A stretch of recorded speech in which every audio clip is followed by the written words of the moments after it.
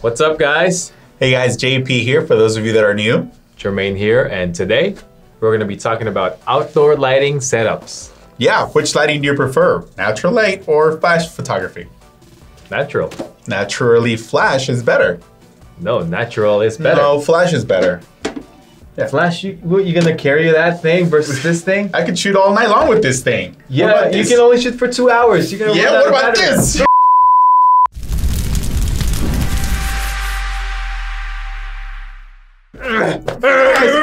Oh, Oh, what's up, guys? Um, what's up? We're back.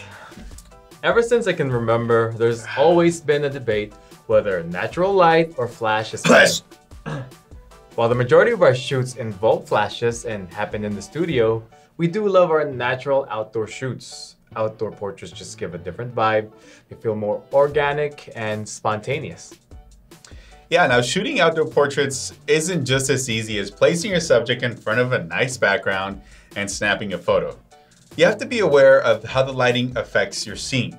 And today, we're gonna go over a few lighting setups we like to use for our outdoor shoots. First setup is all natural lighting. This is the most commonly used, and just like it sounds, it's using the sun as your only light source. Natural light photography makes some of the most stunning portraits. The images look very true to life. Well, because they are. It's what we see every hmm. day.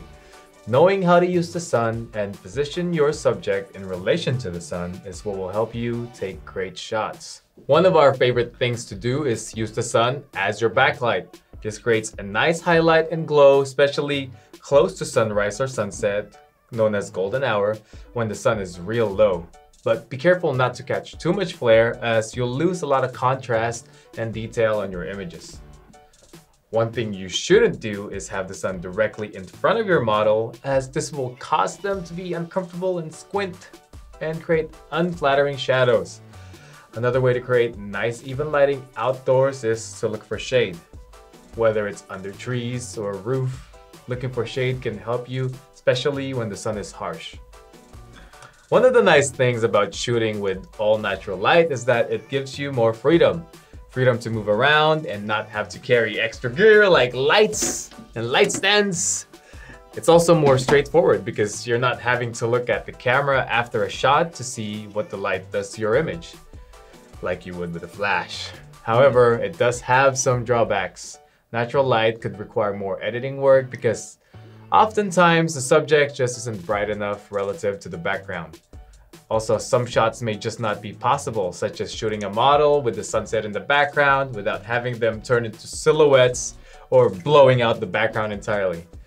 Whether you plan to use strobes or not, understanding how to use natural light is one of the most crucial things when it comes to shooting outdoor portraits.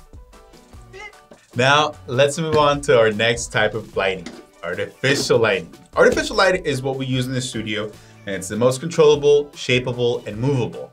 Learning how to use artificial lighting outdoors will take your portraits to the next level. Hmm. Now, let's be honest, guys, using flashes can be intimidating. It was at least for me in the beginning. But the benefits are worth the headaches of learning light using artificial lighting. Whether it's with speed lights, strobe, constant lighting, artificial light portraiture has an edge on natural light. Images can be moody, and you might find that it suits your style.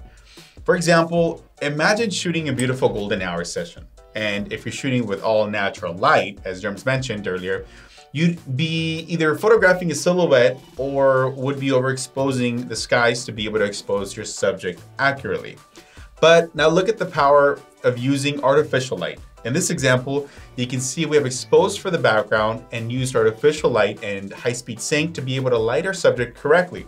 You can't deny that the image with a flash looks more complete and tells a better story of the afternoon and the beach setting. Another aspect that I love about shooting with artificial light is that you can practically shoot any time as you're not restricted by daylight hours. We wandered around Balboa Park for hours and Jerms hogged all the beautiful light. But I didn't care because I knew that I had my strobes and the park has a lot of well-lit areas. The lights came on and so did my flash. Take a look at this beautiful patio and the street lights around it. I love the idea of lights in the background lighting the patio And with the artificial light, I lit the model to complete the image. Lighting with artificial light, whether it's a flash or constant light, takes some practice. So don't be discouraged and practice with the different modifiers as they'll all give you different results. Are you done?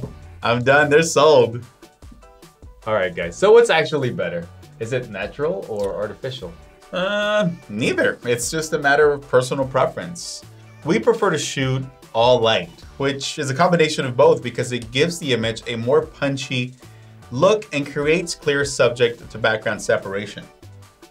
Yeah, agree. And even if you do prefer one look over the other, you should learn how to use both natural and artificial light because this will give you the most flexibility to create the image you want. You're right. It's it's team. It's a team effort. Hope that was helpful. As always, guys, like this video if you liked it. Dislike if you didn't. Don't forget to subscribe and hit that notification bell so you don't miss a thing. And we'll see you on the next one. Peace.